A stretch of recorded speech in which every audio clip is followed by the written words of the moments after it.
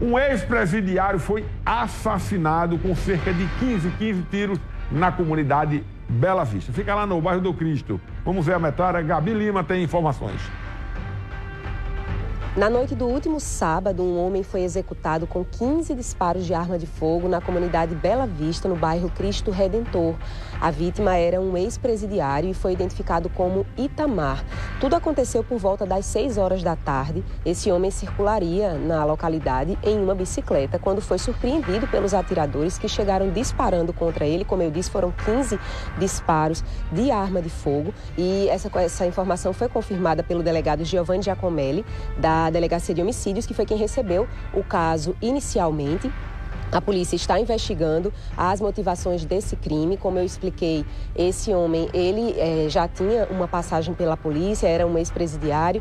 Então a polícia militar também foi acionada para chegar até o local, porque com um chamamento de disparos de arma de fogo. Quando eles chegaram, quando a equipe chegou até o local, se deparou com esse homem já caído no chão com vários disparos né, de arma de fogo. O SAMU foi acionado, mas ao chegar no local, de fato constatou o óbito, constatou que o Itamar é, veio a óbito ali na comunidade Bela Vista. O delegado Giovanni Giacomelli, Giacomelli falou sobre o caso. A única informação que a gente tem confirmada é que a vítima respondia pelo crime de homicídio né? e aqui durante a perícia ficou notório que foi trata de uma execução porque foram mais de 15 disparos.